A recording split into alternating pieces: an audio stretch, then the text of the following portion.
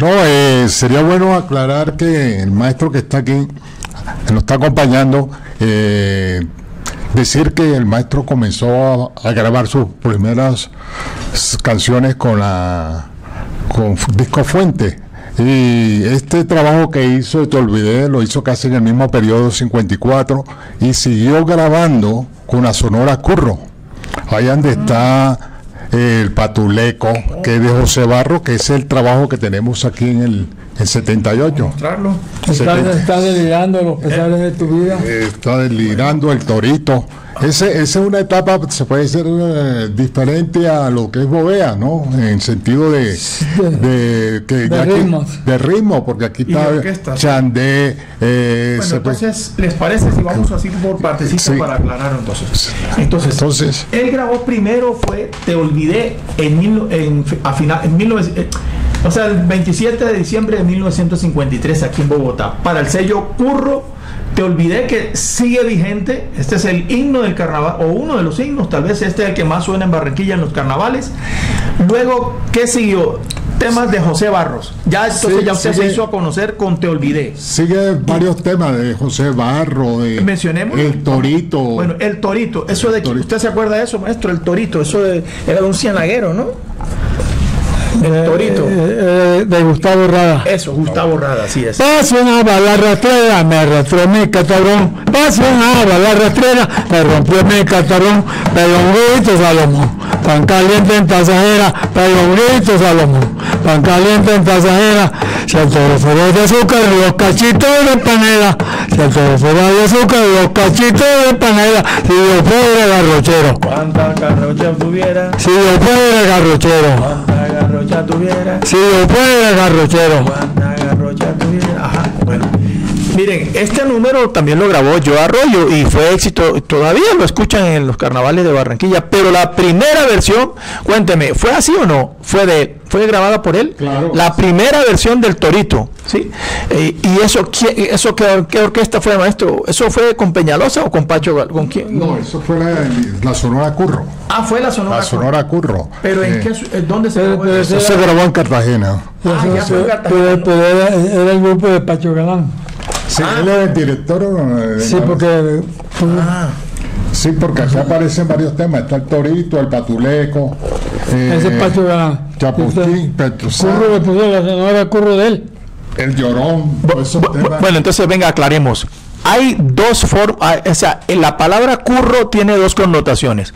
Uno como la sonora curro, que, que es, era propietaria. O sea, sonora es como un formato, como si fuera la sonora matancera, que tenía dos trompetas, ¿sí? Pero también había el sello curro, era así, ¿no? O sea, que sello discográfico curro, de Curro Fuentes, José María Curro Fuentes, ¿sí? Entonces, Curro hacía, era, bueno, productor musical, ¿cierto? Productor discográfico. Sí, es prácticamente el, el dueño de ese sello, ¿no? Como era hermano, me imagino que las grabaciones las hacían en disco fuente, ¿no? ¿Cierto? Él era, simplemente venía con un prensaje diferente, el sello Curro y Fuentes. Entonces, Fuente pensaba su disco como Fuente y José María Curro Fuente con Curro Fuente, Curro, que era también el apellido Fuente, hermano, Sí, sí, era ese hermano de- claro. de Toño, de Toño Fuentes Fuente. López, Tagues. Sí. Entre otras cosas, yo no solamente grabé éxitos para ese sello con orquesta, también grabé un tema que, que sonó mucho, que vendió, que fue Nostalgia Campesina. Sí, pero eso es más adelante, ¿no? Vamos a ver más Sí, adelante. Pero como estamos haciendo como un recuento cronológico, entonces, 78. sí, sobre el 78, entonces ya hablamos de, eh, ¿cómo se llama este tema? El Torito. Bueno, ¿qué otros números grabó usted por esos tiempos? Pero esto fue grabado ya en Cartagena, ok, no aquí en Bogotá, ¿sí? No importa que salió con el sello Curro y de pronto ahí estuvo la orquesta de Pacho Galán, ¿nos dice usted? Te olvidé fue aquí en Bogotá. Sí, te olvidé, sí. Ahí estuvo eh, Chapochín, El Torito fue aquí en Bogotá. Eh, ¿El Torito usted lo grabó aquí? el Llorón, el Llorón, el Llorón, el Patuleco, el Dormilón, que están dentro de ese trabajo. El Patuleco se fue grabado en Barranquilla. Ah, ok, entonces hablemos del Patuleco. Eso es de José Barros, ¿no? de José Barro. Bueno, Eso lo con la orquesta de Pacho Galán. Pacho Galán, Pacho Galán con su orquesta, cuando el maestro Pacho estaba con su orquesta, esto pudo ser que años 50, Eso fue después de los 50, ¿cierto? Fue para el 53. 53. Sí. Pero sí, el mismo año que grabó Te Olvidé, no. 53, sí. Más adelante. No, sí, él grabó Te Olvidé en el 53 en diciembre. 54, después. Ah, una mitad de los años 50. Sí, por ahí, poco más o Hubo menos. una serie de grabaciones. ¿Qué hubo en esa época? O sea que usted se hizo conocer fue por el Te Olvidé. Y ahí lo empezaron a llamar. El, el, el mismo curro de estado delirando también, que, Ah, eso. que fue otro tema poderoso. Ese es muy lindo, bueno. Todo eso, miren amigos, todos esos números fueron más de carnaval. O sea, todo esto que ustedes escuchan, lo pasa de lira. Maestro, un pedacito que ese número está muy chévere. A ver, acuérdese, a ver cómo es. Ya. Ya pasaron todas las que me dan, esas que me trajeron dolores. Ahora con palabras alamedas, vienes a mi vera en busca de amores. Pero como yo no lo he tenido, es mejor que te vayas volando a buscarte otro que te quiera. Vete de mi vera, estás delirando, la pasa delirando por un amor sincero, la pasa delirando por un amor sincero, la pasa delirando. Eso, este número de, de José Barros, ¿no? De José Barros. También como, bueno, es que yo no- yo lo conozco como garabato, algunos le llaman chandé. Bueno, esto es una discusión, si alguien lo quiere llamar chandé o garabato, bueno, por eso no hay, vamos a, a discutir por eso. En todo caso, pues usted grabó esto fue con la orquesta de Pacho Galán. Pacho Galán, sí, y sí. esto, esto también creo que lo grabó Ro- Ramón Ropaín. eh, o- eh, dirigía la orquesta Ah, ya. de- para ese tema. Ah, ok. Entonces estos fueron arreglos de maestro Ramón Ropaín Elías, un pianista espectacular que también vivió aquí en Bogotá. Era cienaguero, por ahí de como de, ta- de, de, cien- de tasajera. Bueno, eh, eh, un tema de él que, que gustó mucho, que se llama Se acabó. Ah, también, otro. Lindo que eso, eso, eso lo grabó también Juan Carlos Coronel. Un pedacito, maestro, ¿se acuerda de Pero vamos, vamos, porque Sí. eso ya es Bueno, posterior. muy bien. para que vuelva. Entonces, sí, porque ahí está, está para ir Ok, desarrollando. ok. ¿Qué sigue? Sí, eh, maestro, eh, ha habido una inquietud. Este es del sello Fuente, La Negra Carmen. Usted grabó ese tema con los guacamayos. Fíjate cómo hacía Fuente, creaba grupos eh, co- con, ideas de él, donde el maestro, cuéntenos cómo, cómo fue ese trabajo de La Negra Carmen. Bueno, el tema me lo aprendí en los estudios. Mírenlo acá, amigos. La Negra Carmen. La Carmen se la pasa caminando noche de profundación y termina en Corralito. Ella en busca de esos negros piñoneros. Se Pablo y Rafael que se ven de los hábitos. La negra Carmen viene de la montaña. Viene en busca de los piñoneros. La negra Carmen viene de la montaña. Viene en busca de los piñoneros.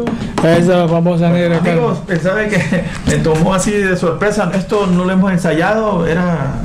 Eh, Sí, eh, hay otro trabajo, Valle, que yo quería preguntarle al, al maestro. Ese es sobre la paloma de Adolfo Echeverría. Cuéntenos cuen- cómo fue ese- esa grabación. ¿Usted hizo parte de esa grabación? Sí, yo la grabé. Eso fue para disco tropical. Eso fue también en los años cincuenta y pico. Ahí está el disco. Sí. La Paloma.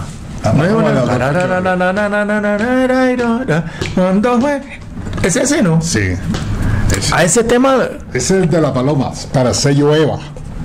Fíjate la, de Barranquilla. la calidad de, digamos, de grabaciones y estilo del maestro con diferentes orquestas. Pero él lo grabó. Él estuvo, dice. Ah, usted estuvo ahí en esa grabación. Claro. Pero la- lo grabó fue la orquesta de Adolfo Echeverría.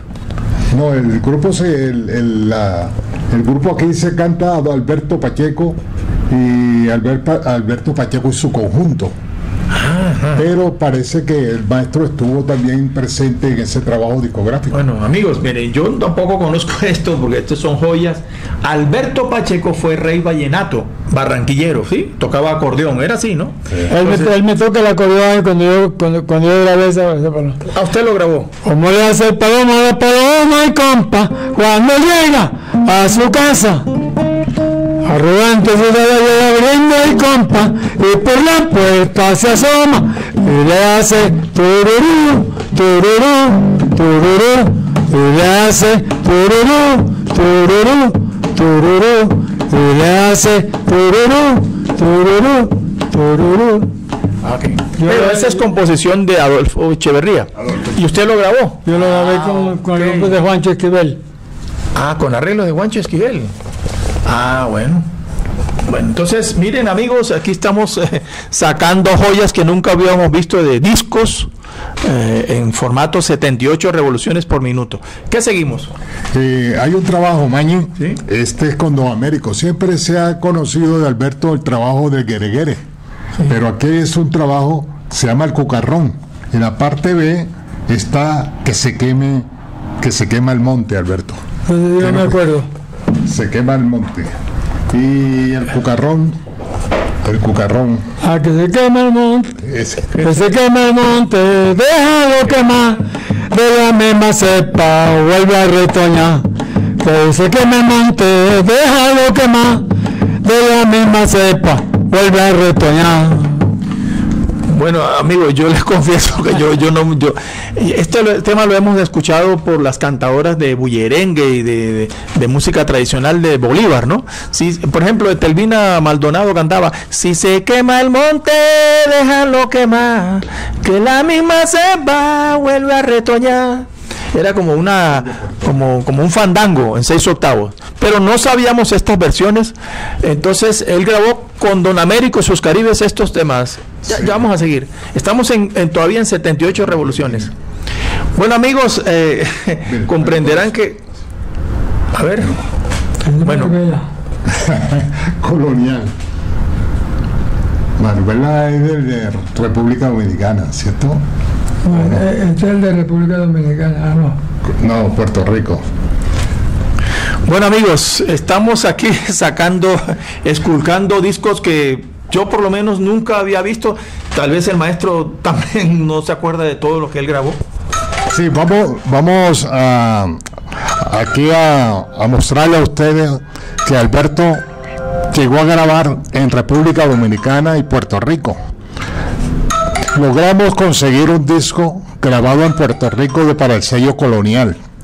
Se llama Beltrán Orozco, con el conjunto tropical, cantando Alberto Fernández. ¿Cómo fue eso en Puerto Rico, Alberto? Ese trabajo. ¿Sí se acuerda, maestro? Nosotros llegamos primero a República Dominicana a un festival panamericano que hubo allá. Ahí grabamos para el disco René de, de República Dominicana. Hicimos un programa en, radio en la voz dominicana y, el gerente de, Puerto Rico no soy yo. Y enseguida mandó, nos, mandó a buscar porque él quería tener esas grabaciones con el trío, volver a su vallenato. Fuimos de Puerto Rico, de República Dominicana a Puerto Rico a grabar un disco y grabamos tres romperias en la misma noche. Esp- eh, esperábamos a las cuatro y media de la mañana, terminamos la grabación y esperábamos el avión Costelegio que venía de Avianca, que venía de España y nos recogía a las 5 de la mañana a Puerto Rico, Barranquilla, Barranquilla, Bogotá. Esto fue con el grupo de Bové, el trío de Bové y sus vallenatos. Acompañado con el- un grupo de Puerto Rico. Ah, ok, amigo. ¿Qué sello es esto? Ahí dice colonial. Sello colonial. Esto fue grabado en San Juan, Puerto Rico. San Juan de Puerto Pero en formato trío así y, co- y- o con otros músicos de Puerto Rico. ¿Cómo fue Con, con- con músicos de Puerto Rico. Ajá. ¿Y qué música esto era? ¿Paseos? ¿Qué Pasé de todo. Allá todo, todo, allá todo le decían cumbia también. Pasé vallenato, ese, ese- Sí, ahí dice, no, bueno, no alcanzo a ver bien, pero bueno. Estas son rarezas, amigos. eh, miren, imagínense. te- números grabados en Puerto Rico con el trío de Bovea y, y te- también con músicos boricuas. No sé, bueno, no sé. ¿Esto fue qué? ¿50 también? ¿Cuándo fue esto, Alberto? eso fue, fue- Cuarteto tropical, se llama, y el otro era ese, el conjunto tropical. Conjunto tropical. Amigos, aquí me corchan porque yo hay cosas que no, no, de esto sí no. ¿Usted se acuerda, maestro? Allá está el diploma, ¿eh? Ah, allá está la voz dominicana. Sí, muy bien, muy bien. ¿Esa te la dieron en Puerto Rico? Ah, El, el- el general Trujillo, tráelo de allá. No, no, no, pero. Ah, Ah, ahorita no. lo tomamos Sí, para bueno, que ahora lo tomamos.